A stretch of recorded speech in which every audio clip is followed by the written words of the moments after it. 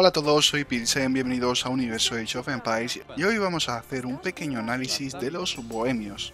El primer bonus que encontramos de los bohemios es que las universidades, los monasterios y las herrerías cuestan 100 menos de madera construirlas. Salen bastante baratos estos edificios, monasterio 75 de madera, universidad 100 y herrería tan solo 50. Es un buen bonus, aunque solo para edificios muy concretos y que solo vamos a construir una vez en la partida. El segundo bonus sí que me parece bastante bueno y es el hecho de que, fijaos, estamos en la edad de los castillos y ya tenemos disponible química. Claro, teniendo disponible química vamos a tener disponibles a los artilleros manuales en la edad de los castillos. Los artilleros manuales hace poco han sido mejorados, tienen más vida. Antes tenían 35, ahora tienen 40 y creo que algo más también los retocaron. No obstante, no dejan de ser unidades muy circunstanciales, es decir, cuando nos van a ser útiles estos artilleros manuales? Pues sobre todo cuando nos enfrentemos a infantería enemiga, ya que tienen un bonus de daño contra infantería brutal. Entonces, quizás contra guerreros águila aztecas, contra infantería goda, pues pueda resultar útil estas unidades. Entonces, disponer de ellas en la edad de los castillos está bien, pero no lo veo una locura. Lo que sí veo una locura es la otra cosa que nos da química, que es las unidades de proyectil tienen más uno en fuerza de ataque. Eso se va a notar más, ¿vale? El hecho de que los arqueros, los guerrilleros hagan más daño. El tercer bonus es que la línea de lanceros hace un 25% más de daño. Esto va a ser que si los lanceros ya eran efectivos contra la caballería, ahora sean todavía más efectivos. Pequeño bonus, pero bueno, no viene mal. El cuarto, el fervor y la santidad afecta a los aldeanos. ¿Qué hace fervor y qué hace santidad? Fervor, los monjes se mueven un 15% más rápido, es decir, tus aldeanos se van a mover más rápido. Es un bonus económico, por un lado, porque sobre todo aquí que es donde más tienen que andar, cuando un campamento maderero está lejos, pues van a andar más rápido. Y quizás también, bueno, para huir de raideos enemigos, aunque estando tan avanzada la partida, tampoco lo veo demasiado útil. No es la edad feudal en la que perder un aldeano puede ser clave. Y santidad que hace que los monjes adquieren más 15 puntos de resistencia y son más difíciles de matar. Bueno, esto sí va a venir bien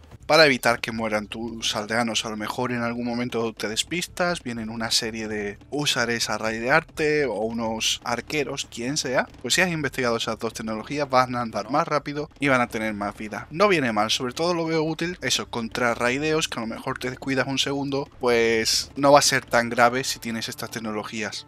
Y bueno, también tiene otro bonus que hace que las tecnologías de los campamentos mineros son gratuitas. Como veis no podemos investigar ninguna de esas tecnologías porque ya han sido investigadas. Esto viene bien sobre todo por el tema del oro. Tengo un vídeo explicando por qué nunca, casi nunca debéis mejorar la tecnología de recolección de piedra. Pero en fin, que sea gratis siempre es bienvenido esto.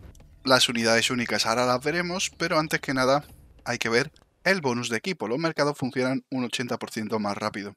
¿Cuándo va a ser útil esto? Sobre todo en partidas multijugador, cuando haya que establecer una línea comercial, pues tanto tú como tus aliados la vais a poder establecer casi el doble del rápido que los rivales.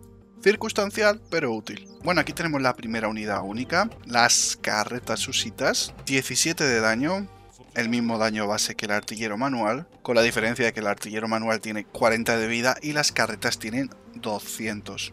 Estas unidades cuestan 110 de madera y 70 de oro. No son baratas. Y bueno, ahora las testaremos un poco en el editor. Antes de ello vamos a terminar de ver la otra unidad única. Y bueno, esto es una cosa curiosa. A pesar de que hemos investigado química, el cañón no nos lo deja construir. Vamos a ver si pasando a la siguiente edad si nos deja.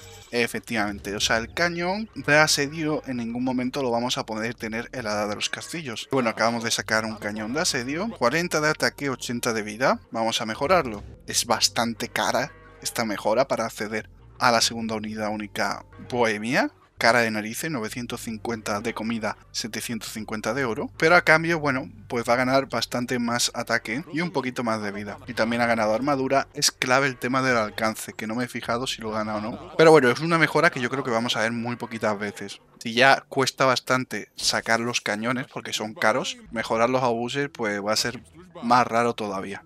Bueno, vamos a analizar en un segundo su árbol tecnológico. La herrería es bastante buena. Lo único que le falla es que no tiene la última tecnología defensiva de los jinetes. Tampoco tiene acceso a paladín ni a usar, ¿vale? Así que por lo tanto el establo Bueno, ni siquiera tiene pureza de sangre, o sea, los bohemios, la caballería deja muchísimo que desear. En cambio, la galería de tiro con arco tiene arbalestero, aunque no tiene dactilera. No es la mejor arquería del mundo, pero bueno, puede tener un arbalestero con todas las mejoras de la herrería y solo le falta dactilera. Tampoco está mal. En cuartel sí que tiene muy buen cuartel, ya que tiene la línea de campeón, la línea de alabardero y la línea de alabardero la tiene con un 25% más de daño. En asedio, bueno, destacar que tiene cañón porque no tiene ni ariete de asedio ni onagro de asedio. Excelente monasterio, todas las tecnologías. Bueno, y por último, vamos a ver la carreta usita en acción. Vamos a enfrentarla con la carreta coreana, por ejemplo. Y bueno, aquí vemos el combate. Bueno, la carreta de guerra usita aguanta bastante más que la carreta de guerra coreana. De hecho, fijaos qué bien aguanta.